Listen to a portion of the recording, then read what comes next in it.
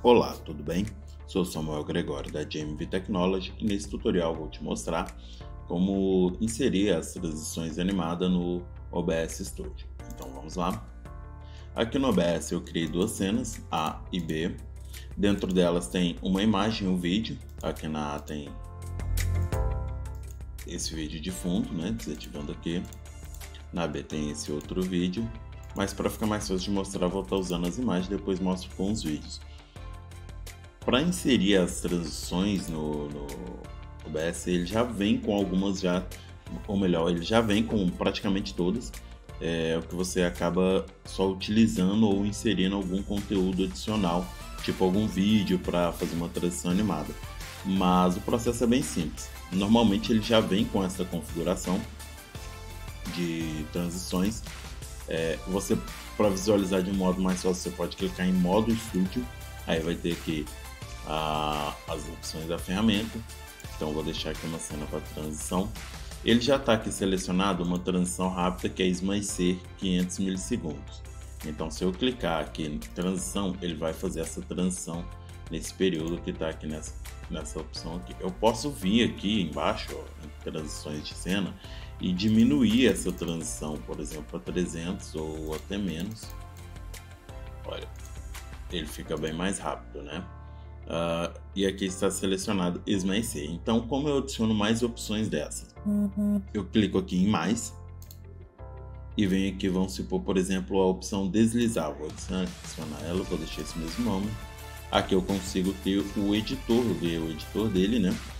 Então, por exemplo, eu posso escolher o lado que a cena vai chegar, que é da direção que ela vai, da esquerda para a direita, da direita para a esquerda, ou de cima para baixo, ou de baixo para cima e eu posso fazer uma prévia de como vai ser. Mas para como minha transição está muito rápida, tá só 100 milissegundos, vou aqui colocar 400 para a gente conseguir ver e voltar lá de novo clicando aqui nas propriedades.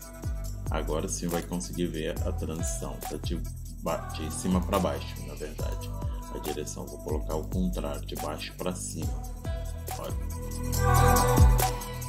Aqui também tem a opção de deslizar, que ele dá um efeitozinho mais animado, né? Ok.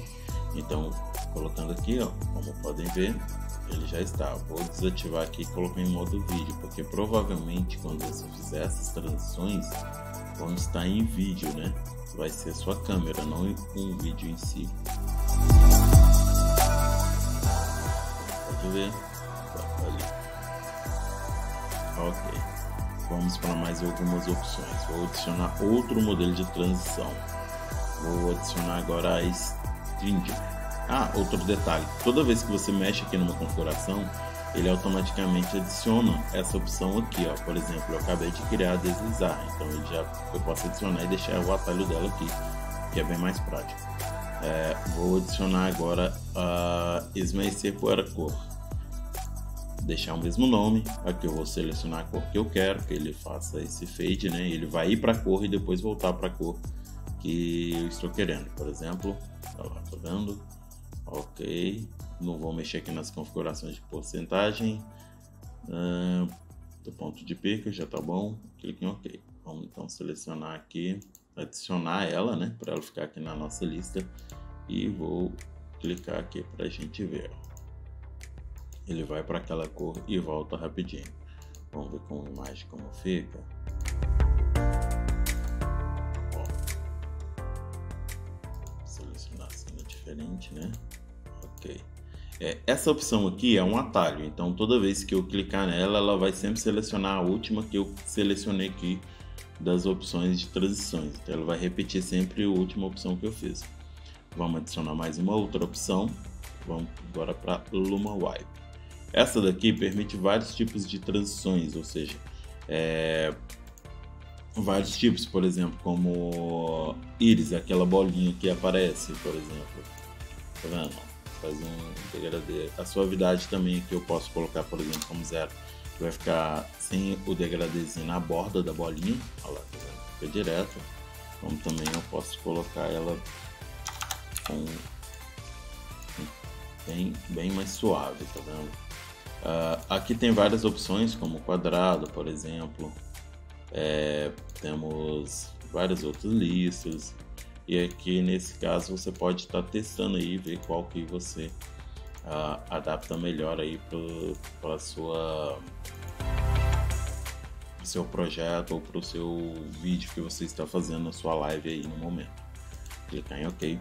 E vamos agora para que o pessoal mais tem curiosidade e acha mais difícil de fazer, né? Que é a Stinger, que é a que permite você colocar um vídeo de transição. O formato que é melhor para trabalhar, ou seja, o formato que ele trabalha aqui na transição com o fundo alfa, né, o fundo transparente, é aquele formato .webm.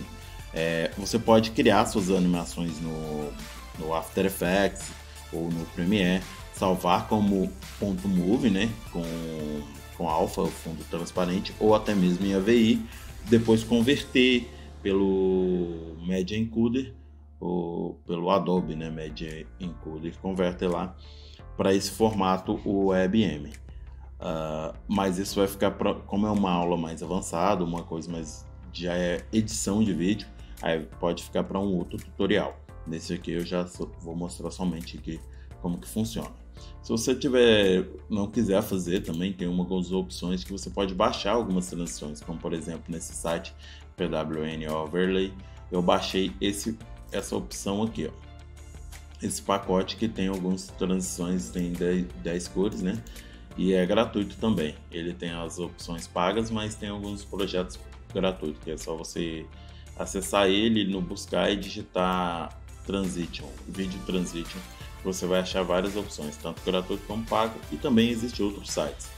Mas voltando ao tutorial, vou adicionar aqui um que eu possa utilizar. Copiar tudo então, eles foram extraídos salvar. Uh, vou pegar a mesma cor aqui, vou pegar essa cor amarela. Aqui eu vou colocar mil milissegundos.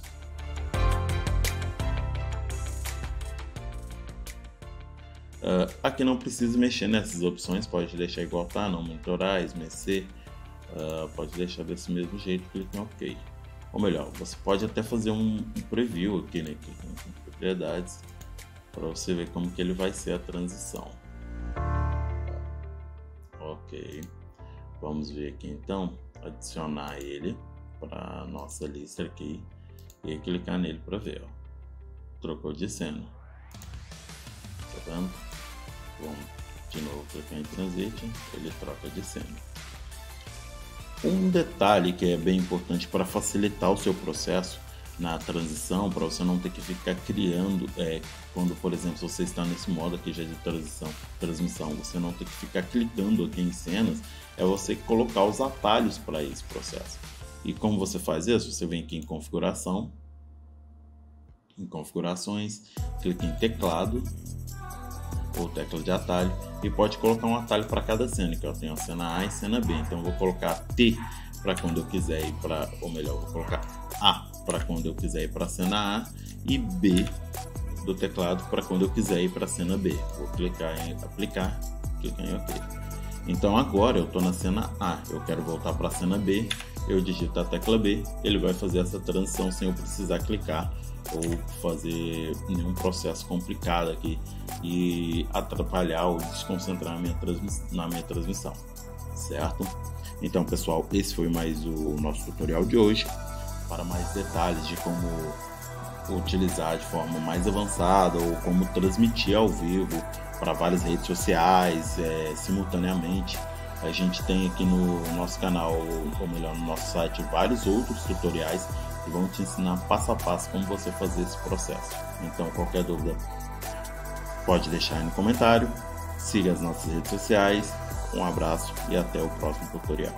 Obrigado.